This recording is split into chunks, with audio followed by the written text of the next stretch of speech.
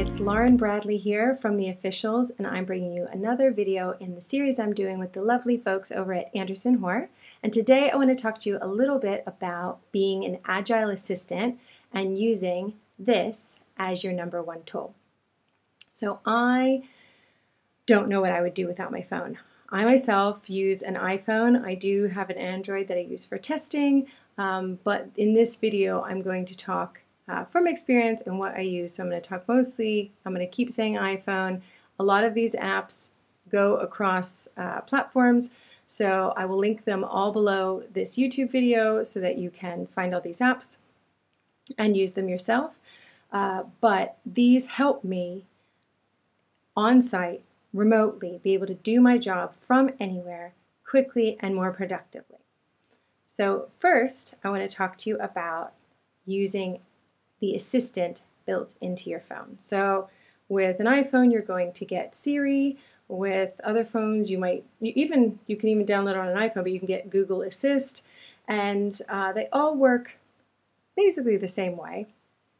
I use it for very simple things, but I often get stopped and people go, "You can do that with an iPhone," and it's some of the most simple features that are on the phone. So I use Siri when, say, I'm running to the kitchen and someone's just stopped me to tell me that they noticed that a lock on a conference room handle isn't working as well, so I have to do a maintenance request. Or somebody says, I have a guest coming at 2 p.m. Can you just make sure that they are put into this room and find John because that's actually who they're meeting with today?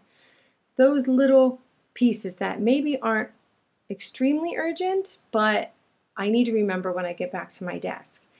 Now, usually my first point of call would be to ask them to email me. My email is my triage. I ask that all my requests come through to email. I'm thinking about changing this to Slack, but at the moment I'm sticking with email. Uh, but sometimes you just know those people that are not going to email you. So what I do is I pull out my trusty assistant and I will stop and say, remind me in 15 minutes to put a maintenance request in for the broken lock. Okay, I'll remind you. And Siri will remind me in 15 minutes by putting a little message on my phone that will vibrate on my phone. Now, if it was something maybe more urgent, maybe like the guest that's coming at 3 o'clock, I will say, set an alarm for 3 p.m. to greet John's guest. Greet John's guest alarm for 3 p.m. So now I have an alarm for 3 p.m. Now if the guest was coming at 3 p.m., I'd probably set the alarm for 2.45 just to make sure I'm at my desk because it's one of those things if someone just tells you on the fly and you go out to lunch, you need 15 minutes to get back to your desk to make sure you're greeting that guest. So that's two common ways that I use it. I also use it every morning to check the weather. What's the weather like today? Here's the weather today and then it will give me the weather today, and then I know if I need an umbrella or a coat uh, for the day. Um, but it can also record notes. It can do so much more, and uh, especially now with the development of AI, things are getting a bit more advanced in the digital assistant world.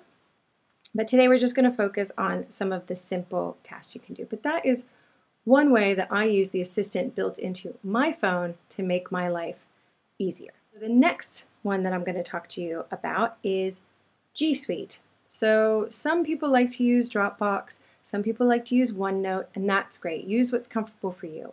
However, I really, really like G Suite and the whole applications that all the applications that come with that. You've got Google Drive, Sheets, Docs, Forms. You've got a lot of uh, sort of diverse applications in there that kind of mimic um, Microsoft Office, but because it's in G Suite and it's it's a simplified version, it's basically what you need. It's easier to look at from any device. Trying to open a Word document and edit it on your iPhone is quite hard. They've made advances, but it's still not the same. However, I find that the G Suite products really do translate across devices. And so the reason why I really like G Suite is one, and it kind of it also does the things that Google Drop, I'm sorry, that Dropbox do and that OneDrive can do, except, like I said, it's in a more simplistic format. And so you can share a document. I could be updating a live document for a meeting coming up. Maybe my boss has called me at 8 a.m. I'm still on the train and said, I need to change the agenda before we get in, and I'm going to get there with five minutes until the meeting. Not a problem. I pull up Google Drive, which is basically the file manager for all of my documents, uh, spreadsheets, forms, PDFs, any documents that I want in there. They're there for me. So I open up the meeting minutes, I update it, and in fact, because I'm an agile assistant, I've made sure that my principal is now on the same software. So they've got the document open and they're making changes, and we can see each other making changes live. And then when I get in, it's all finalized. I send it off to everyone, turn it into a PDF so no one can change it, send it out to everybody, or I can go in and print it uh, moments before the meeting. This has saved me on so many occasions to be able to be leaving at, at 5 o'clock and say, uh, I'm on my way out, I'm going to send this document to you in a couple minutes to be on my way home or to be out at lunch or to be running an errand and have somebody say, I need those board meeting minutes, and to either tell them where it is very quickly because you can send documents as easy as just sending a link, or I can send it to them myself. Uh, and I find this is possibly the biggest uh, game changer for me as far as technology advancing is just being able to work remotely literally from everywhere, and especially my phone. Uh, it's not something I want to use long term. I don't start making documents a lot from my phone. I'll do that from my laptop or my desktop. But if it's tweaks uh, or I need to do something in a pinch, this will do it. The next app I want to talk to you about is called One Password. Now, there's a lot of password applications out there, password vaults, safes, uh, but I really like 1Password. It's called 1Password because after you've completely set it up, really you just need to know one password. So I will go into it here and you will see it's asking me for my one password because I have fingerprint uh, touch on my phone, Touch ID. I will put my fingerprint on it and it will bring up all of these categories that I have uh, passwords saved for, but it doesn't just save passwords it will save bank accounts, passport details, uh, rewards programs. So I belong to Holland and Barrett, which is a health food store, and uh, and it gives me my ID, and I can actually um, save the photograph of the actual physical ID because sometimes, especially for credit cards, if you call, I don't know if anyone else has been caught in this, but you call to talk to someone about your principal's Amex, and they'll ask you for the phone number on the back of the card to make sure you're physically present with the card. And having a picture of the card has been an absolute lifesaver. And so I really love 1Password. And the great thing is, is that you can set either up a individual subscription, a family subscription, a business subscription, and you can control who sees what vaults they call it. So you get a private vault that only you see. You can create shared vaults that you share with with others. And I always make sure that my principal knows exactly how to remove um, me from the process so they know it's a, it's a trust environment. I want them to know if uh, our relationship ends for any reason or if another assistant comes on, maybe I, I'm ill or something, they know exactly how to share those details. It's all encrypted, it's all done through a very strong uh, password that gets it installed onto your program um, or a QR code that you have to scan. But I absolutely love this.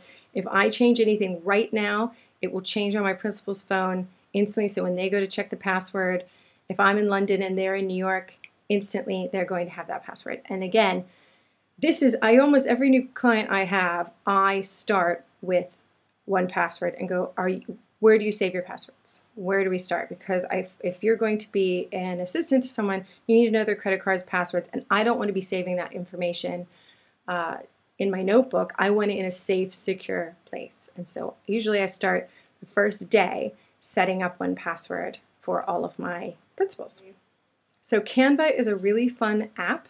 It is a an easy design website really. So if you go to canva.com It's like Canvas without the S.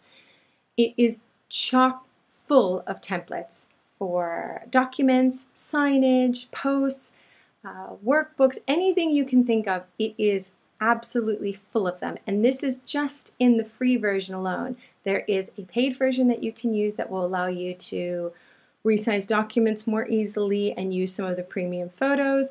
But even with the free version, it's, it, it is a really great application um, for stock photography and graphics and to make some really great signs and reports for your business. Um, and the well, how I use it on my phone is that there is an app and it allows me so if I have created something and I want to send a report off that's just a little bit more special, I also really like the presentation function. So the way it copies PowerPoint and um, I, have made some really beautiful power uh, decks from this, slide decks from this. But uh, so right now I'm working on a course book called Getting the Job for the officials um, HQ membership site that is launching very soon. And when I go on here, I can pull it up, I can make changes, I can save it, send it off to anyone. This is all done from templates um, with my own words. This is a very big document, so it's taking a little time to load, but you can see that I have, as I said, it's taking a little bit of time to load. There we go it, I can send this off to anyone I want. I can make changes. But again, this is all from amazing templates and great stock photography that I can uh, use and uh, make the lives of my principals and the lives of other assistants out there that I'm helping much better with some beautifully designed documentation.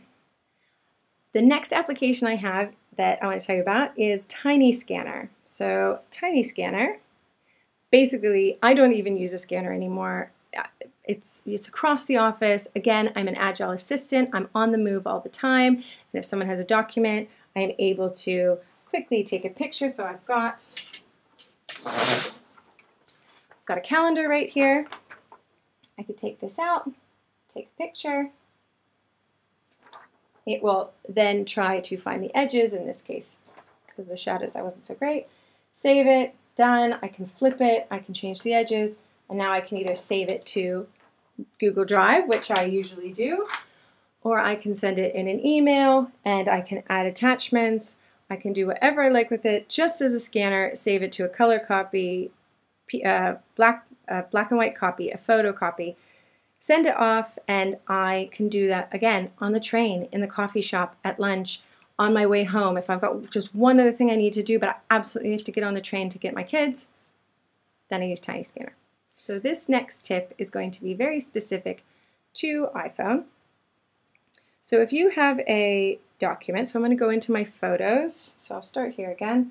I'm going to go into my photos, and here I have a, a document.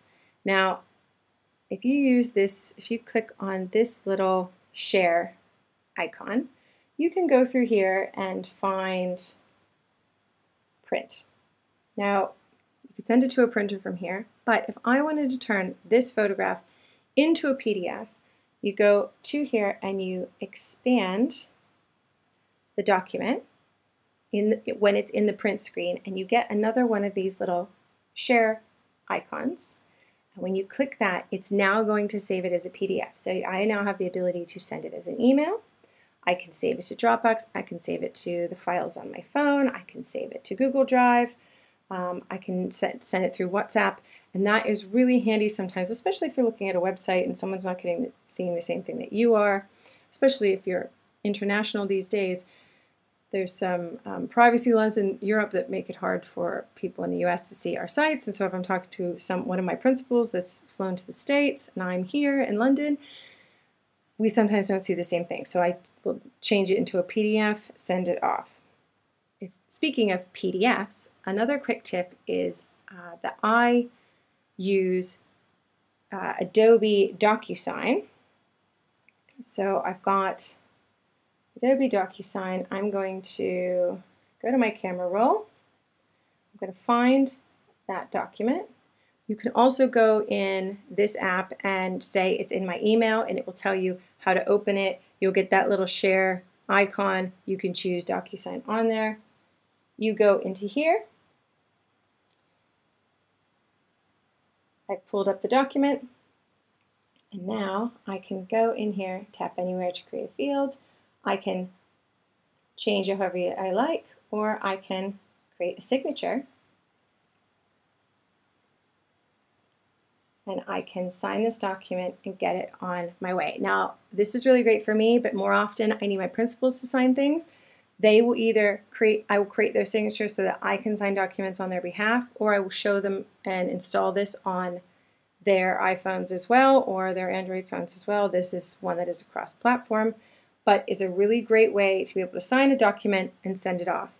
Now, in a pinch, you can also use photos. So, say I just go into this because it originally is just an image, and I back out so it's just the image.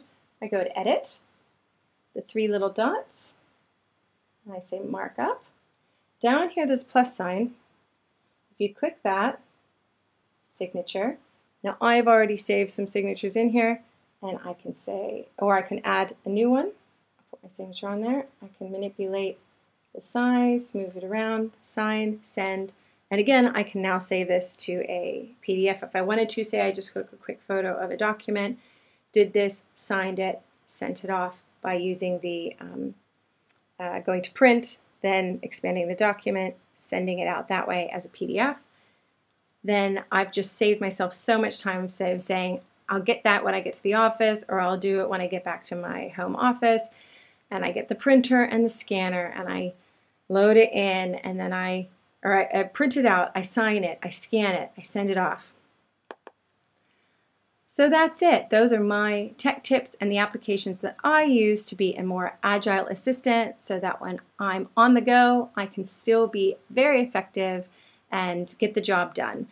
I would love to hear what you thought of these tips. If you could please comment below, I'd love to read them, and I, of course, will be commenting back. I'd love to hear how you are an agile assistant and the applications that you use to help facilitate that.